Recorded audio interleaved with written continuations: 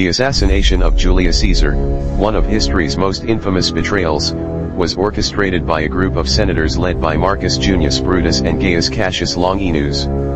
Motivated by fear of Caesar's growing power and concern for the Republic's future, they conspired to rid Rome of his tyrannical rule. Caesar's unprecedented rise to dictator perpetuo, or perpetual dictator, threatened the traditional balance of power in the Senate.